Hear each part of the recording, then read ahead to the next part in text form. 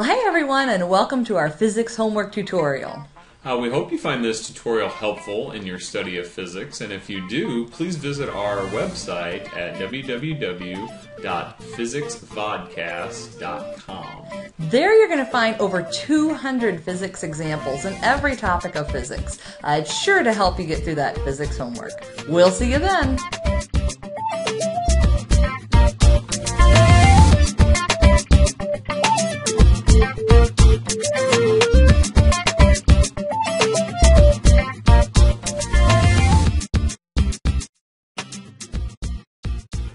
Your Sioux Falls physics teachers here again, looking more at potential difference of point charges. Uh, we have a charge that is negative 8 microcoulombs, and we're to determine the electric potential at a point P, which is 10 meters away from that point charge. Uh, also, determine the amount of work required to move a second point charge to that location. So let's start by determining, again, the electric potential at point P. And remember, electric potential and potential difference are just different ways of saying volts. And for a point charge, we determine the voltage by this equation. The constant K times the sum of charges over their respective radius values. Well, in this case, there's only one charge that we're dealing with.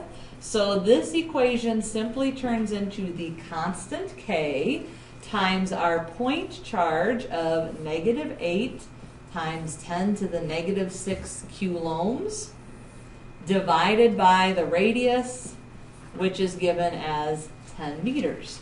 Working those out, we then get a voltage value of negative 7200 volts. So again, that would be the first answer to the question.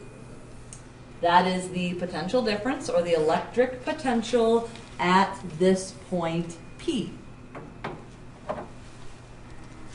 Now, secondly, we need to calculate the amount of work required. And again, remember that work can be thought of as the change in potential energy, which is simply equal to the charge times the voltage. So in this case, our second point charge, it says to move from infinity to this location. So somewhere way out here, we have this charge of negative 4 microcoulombs, and we want to calculate the work required.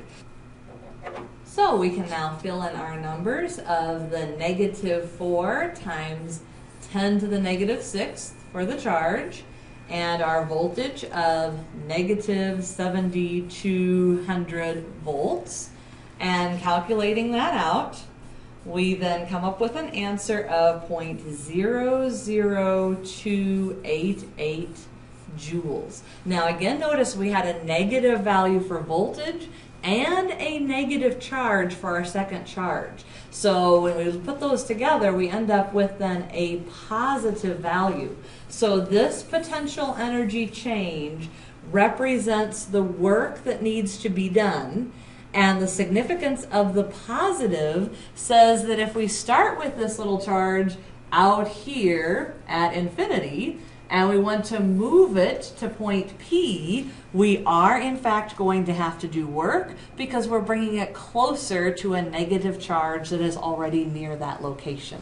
So the work that would be done to move that from infinity to point P is again 0.00288 joules.